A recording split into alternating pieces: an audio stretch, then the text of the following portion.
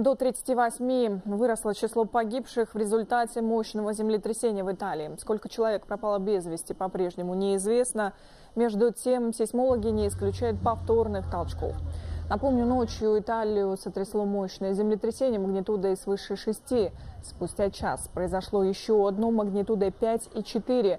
В руинах сразу несколько провинций. Особенно пострадали города Матричи и Акумоли которые наполовину разрушены. Отголоски ощутили и жители Рима. Тысячи людей в панике покинули дома. Добавлю, последний раз Италия переживала мощное землетрясение 7 лет назад. Тогда был практически стерт с лица земли город Акуилла. Погибли около 300 человек.